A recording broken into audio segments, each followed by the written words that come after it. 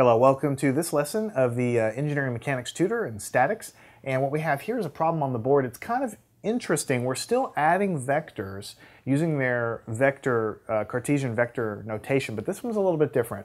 What we have is three vectors on the board. F1 is 325 newtons. It's going up at some angle that we're going to end up using this triangle to help us find that we've been doing on several of these problems. Um, we do have a vector F2, but we don't know what it is and we don't know what angle it is. We've just drawn a placeholder for it and we've given it a magnitude and a direction theta, but we really don't know what that is right now.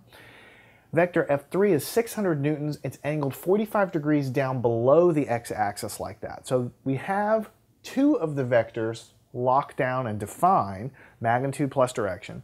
We do not know what F2 is. However, we're given a critical piece of information. The resultant, which means the summation of all three of these vectors, is 750 newtons directed along the x-axis, straight along the x-axis. All right, find F2, which means find the magnitude of F2, find the direction of F2. So in other words, if you think about it, I have a vector pointed up and a vector pointed down. They're different magnitudes.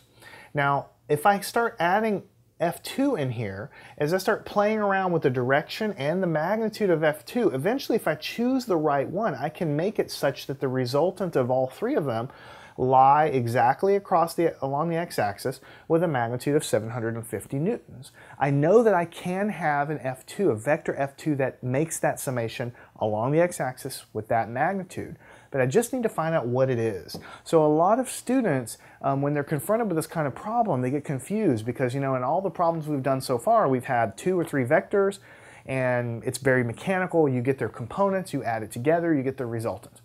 Well, when you're confronted with a problem like this, where you kind of are given part of the resultant and you have to find one of the other vectors, you just need to proceed as usual. The only thing that's tricky is you have to keep F2 and the angle theta as variables in your analysis. And at the end of the day, you're going to end up solving for F2 and solving for theta to make the constraint come true. So best advice I could give you is just proceed as normal. So let's just pretend that we don't, pretend that this problem is just like all the other ones before. Let's work in the x direction. Let's work in the x direction. So for vector f1, we have a problem right away. We don't know what its angle is, but we know something about this little triangle here. So for f1, the angle of f1, the uh, angle theta, if you were to measure this to the x-axis like this, is going to be the inverse tangent of y over x. So 12 over 5, that's the definition of the tangent uh, guy. And when you take 12 over 5 and you take